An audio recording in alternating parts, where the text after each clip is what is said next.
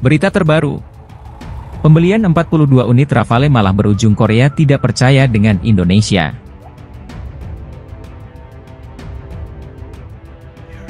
Korea Selatan semakin menunjukkan ketidakpercayaan terhadap Indonesia setelah pengumuman resmi pembelian 42 unit pesawat tempur Rafale oleh pemerintah Indonesia dengan keputusan ini menjadi titik balik dalam hubungan antara kedua negara, yang telah terus tegang dalam beberapa bulan terakhir.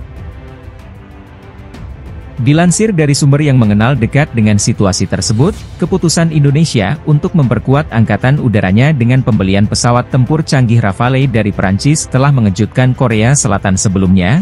Korea Selatan telah mencoba menjalin hubungan yang lebih erat dengan Indonesia melalui kerja sama ekonomi dan pertahanan. Namun, pembelian besar-besaran ini dipandang sebagai langkah yang memperkuat kekhawatiran Korea Selatan akan ambisi militer Indonesia dalam wilayah Asia Tenggara.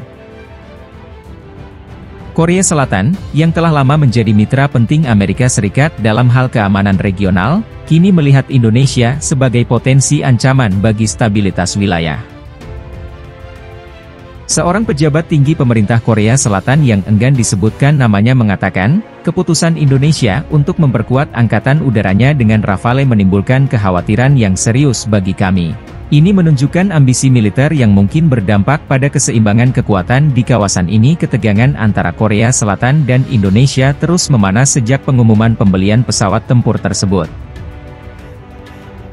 Korea Selatan telah menyatakan kesiapannya untuk meningkatkan pengawasan terhadap aktivitas militer Indonesia di wilayah Asia Tenggara sementara itu, pemerintah Indonesia belum memberikan komentar resmi terkait reaksi Korea Selatan terhadap pembelian Rafale. Namun, beberapa pejabat pemerintah Indonesia menegaskan bahwa langkah ini semata-mata untuk meningkatkan pertahanan negara dan bukan ditujukan sebagai ancaman terhadap negara lain di wilayah tersebut.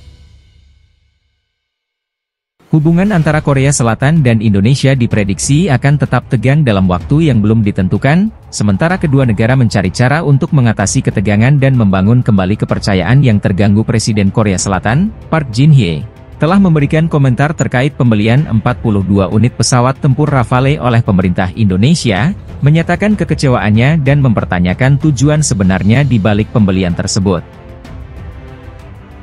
Dalam sebuah konferensi pers yang diadakan di Istana Kepresidenan, Presiden Park mengungkapkan kekhawatiran mendalam atas peningkatan militer Indonesia yang dipandang sebagai potensi ancaman terhadap stabilitas regional. Dia menyoroti kebutuhan untuk transparansi dalam niat Indonesia dan perlunya mempertahankan keseimbangan kekuatan di kawasan Asia Tenggara.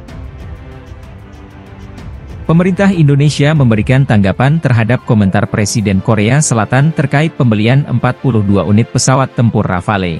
Menegaskan bahwa langkah ini semata-mata untuk meningkatkan kemampuan pertahanan negara dan tidak ditujukan sebagai ancaman terhadap negara lain di kawasan dalam sebuah pernyataan resmi yang dikeluarkan oleh Kementerian Luar Negeri Indonesia, pemerintah menekankan bahwa pembelian Rafale adalah bagian dari upaya yang berkelanjutan untuk memperkuat angkatan.